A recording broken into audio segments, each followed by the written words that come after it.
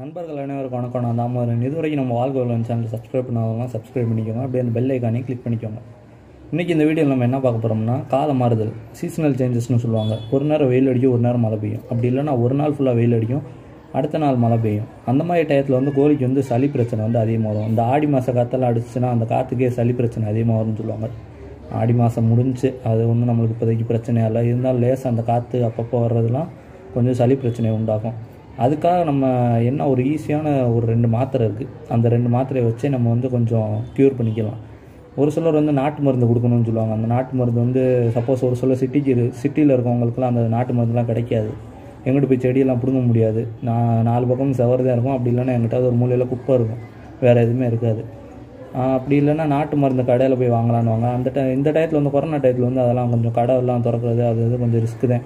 அதனால் ஒரு ரெண்டு மாத்திரை இருக்குது அந்த மாத்திரையை போ வச்சே நம்ம வந்து ஓரளவுக்கு இந்த சளி பிரச்சனை உடம்பு இந்த காய்ச்சல் ஸ்டார்ட் ஆகிறப்ப அது ஈஸியாக வந்து நம்ம வந்து க்யூர் பண்ண முடியும். அந்த மாத்திரை என்ன மாத்திரைன்றது தான் நான் இப்போ வந்து உங்களுக்கு காட்ட போகிறேன் அது வேறு ஒன்றும் இல்லை. டெட்ராசைக்ளின் மாத்திரை. இது பார்த்துருப்பீங்க. டெட்ராசைக்ளின் டியூப் மாத்திரை. நம்ம போடுறது தான். அதனால் ஒன்றும் இல்லை. அதே மாதிரி பி காம்ப்ளெக்ஸ் டியூப் மாத்திரை. இது வந்து எனக்கு வந்து யார் சொன்னதுன்னா எங்கள் மாமா ஒருத்தர் சொன்னார். நான் வந்து இதை வந்து மூணு வயசு மூணு வயசு கோழிக்கும் போட்டிருக்கேன். மூணு மாதம் குஞ்சுக்கும் போட்டிருக்கேன். ரெண்டுக்குமே எனக்கு வந்து எஃபெக்ட் நல்லா இருந்துச்சு. எதுக்குமே ரொம்ப வாங்காக்கியெல்லாம் இல்லை. அதாவது சாகிற அளவுக்குலாம் கொண்டு போல. நல்லா காப்பாற்றுச்சு என் ஃப்ரெண்ட்ஸுமே ஒரு ரெண்டு மூணு பேர் ட்ரை பண்ணி பார்த்தாங்க. அவங்களுக்குமே நல்லா இருந்துச்சு.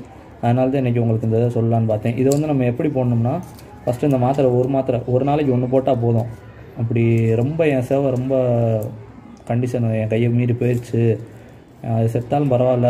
ஆனால் நான் வந்து அதை எப்படியாவது காப்பாற்றணுன்றதுக்காக நான் என்ன வேணாலும் செய்கிறதுக்கு தயாராக இருக்கேன் அப்படின்னு நினைக்கிறவங்க மட்டும் ஒரு நாள் ரெண்டு மாத்திரை மாதிரி போட்டுக்கோங்க. எப்படி போடணும்னா அந்த மாத்திரை எடுத்துகிட்டு சுடுதண்ணி இருக்குல்ல சுடுதண்ணி வந்து மிதமான சூட்டில் இருக்கணும். ரொம்ப கொதிக்க கொதிக்க எடுத்துக்கிறாங்க.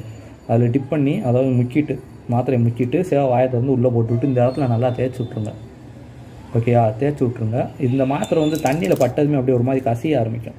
அது ஏன்னா அந்த பிளாஸ்டிக் மாதிரி இருக்குல்ல இது வந்து உருகி தான் உள்ளே இருக்க பவுடர் வந்து உள்ளே அந்த பிளட்டு அந்த உடம்புலலாம் ஸ்ப்ரெட் ஆகி அந்த கோழி வந்து காப்பாற்றும் அப்படின்றப்போ இது வந்து கசிய ஆரம்பிக்கிறப்ப என்ன ஆகும்னா அந்த டியூப் இருக்குல்ல தொண்டைக்குழி அந்த டியூப் இருக்கும். உணவு குழாய்ன்ற டியூப் அதில் போய் ஒட்டுறதுக்கு வாய்ப்பு இருக்குது அதனால் நீங்கள் என்ன பண்ணுறீங்க அந்த மாத்திரையை போட்டு விட்டதுமே கொஞ்சோண்டு சுடுதண்ணி இந்த நீடில் இருக்குல்ல அந்த ஊசியை கழட்டி போட்டு அந்த பிளாஸ்டிக்கில் வந்து கொஞ்சோண்டு சுடுதண்ணி எடுத்து அதையும் வாய்க்குள்ளே செலுத்திடுங்க அந்த மாதிரி இதை போட்டு அடுத்த நிமிஷமே இதை போடலாம். அது வந்து கேப் விடணும். இப்போ தான் போடணும். அந்த டயத்தில் தான் போடணும். அப்படிலாம் கிடையாது. காலையில் போடுங்க. அப்படி இல்லைன்னா நைட்டு போடுங்க. ஆனால் எப்போ இந்த மாத்திரையை போட்டாலும் குறைஞ்சது ஒரு ஒரு மணி நேரமாவது உங்கள் சேவலோ கொலியோ குஞ்சு மூணு மாதம் குஞ்சு போட்டாலுமே அதை நடக்க விட்டுறணும். குறைஞ்சது ஒரு மணி நேரமாக அதை நடக்க விடணும்.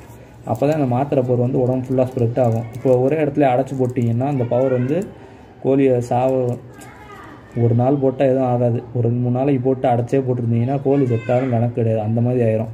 அதுக்கு தான் சொல்கிறேன் நல்லா நடக்க விட்டுறணும். இது வந்து நான் எப்போ வந்து ஃபஸ்ட்டு ட்ரை பண்ணேன்னா ஒரு தடவை ஒரு பீலா சேவல் அதாவது ஆரஞ்சு கலரில் இருக்கும்ல பீலா வெத்துக்கால் தான் நம்ம. நம்ம கத்திக்கால்லாம் பிடிக்காது. அந்த வெத்துக்கால் சேவலுக்கு வந்து தண்ணிக்கு எடுக்கிறேன்னு சொல்லி நாசில் ஏற்றி விட்டேன் தண்ணியை. தண்ணி ஏற்றி அப்படியே ரொம்ப எப்படி சொல்கிறது அப்படியே குன்னி நின்று அப்படியே கண்ணை மூடிட்டு உடம்பு அப்படியே கொதிக்க ஆரம்பிச்சிருச்சு. ஒரு ரெண்டு மூணு பேர்கிட்ட கேட்டேன் கிண்டல் பண்ணி சிரிச்சாங்க. அதெல்லாம் கண்டுக்கல. அப்புறம் எனக்கு அந்த சேவலை கொடுத்தவர்கிட்ட கேட்டேன். அவர் தான் எங்கள் மாமா தான் கொடுத்தாரு. அவர்கிட்ட கேட்டதுக்கு வந்து இந்த மாத்திரை போடலான்னு சொன்னார். நானுமே இந்த மாத்திரை போட்டேன். நல்லா ஒரு ரெண்டு மூணு நாளில் சரியாயிருச்சு எனக்கு சேவை சரியாயிருச்சு ஆனால் உடம்பு கொஞ்சம் இறங்கிருச்சு. சேவை வந்து கம்ப்ளீட்டாக சரியாயிருச்சு. நீட்டாக வந்துருச்சு. பழையபடி கோழி விரட்டி மிதிக்கிற அளவுக்கு வந்துருச்சு. நல்லா இது ப்ராசஸ் ஆச்சு. அப்புறம் இன்னொரு சேவை வந்து ஒரு ஒத்தக்கண்ணு சேவை. அதுவும் இந்த மாதிரி சளி பிரச்சனை வந்துச்சு. அப்போ எப்படின்னா போன வருஷம் இந்த டயத்தில் தான் வந்துச்சு. இந்த செப்டம்பர் அக்டோபர் இந்த டயத்தில் தான் வந்துச்சு. அப்போ இதே மாத்திரை தான் போட்டேன். சரியாயிடுச்சு நம்மளுக்கு.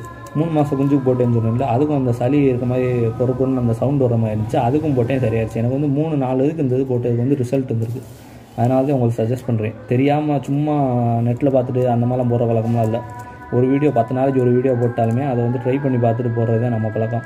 கொஞ்ச நாளாக வீடியோ போட முடியல இனிமேல் வந்து தொடர்ந்து போட்டுருவேன் இந்த வீடியோ உங்களுக்கு பிடிச்சிருந்துச்சுன்னா லைக் பண்ணுங்கள் இந்த மாதிரி நியூஸ் அது பார்க்கலாம் அப்படின்னு நினச்சிங்கன்னா சப்ஸ்கிரைப் பண்ணுங்கள் உங்கள் ஃப்ரெண்ட்ஸுக்கு யாருக்காவது தேவைப்பட்டு அதை ஷேர் பண்ணுங்கள் நான் சொன்னதில் ஏதாவது தப்பு இருந்துச்சுன்னா அதை கமெண்ட் பண்ணுங்கள் இதோட அதிகமாக உங்களுக்கு தெரிஞ்சிருந்தாலுமே அதை கமெண்ட் பண்ணுங்கள் அதை வச்சு ஒரு வீடியோ ட்ரை பண்ணி பார்த்துட்டு அதை வச்சு ஒரு வீடியோ போடலாம். அப்புறம் இன்னொரு விஷயம் வந்து இந்த வெயில் காலம் மழை காலம் வர்றப்பெல்லாம் அந்த கம்பை குறைச்சிக்க கேப்பையை கூட்டிக்க கேப்பையை குறைச்சிட்டு கம்பை கூட்டிக்க அப்படின்னுவாங்க. அதெல்லாம் அப்படிலாம் நம்ம பண்ணணும்லாம் அவசியம் இல்லை.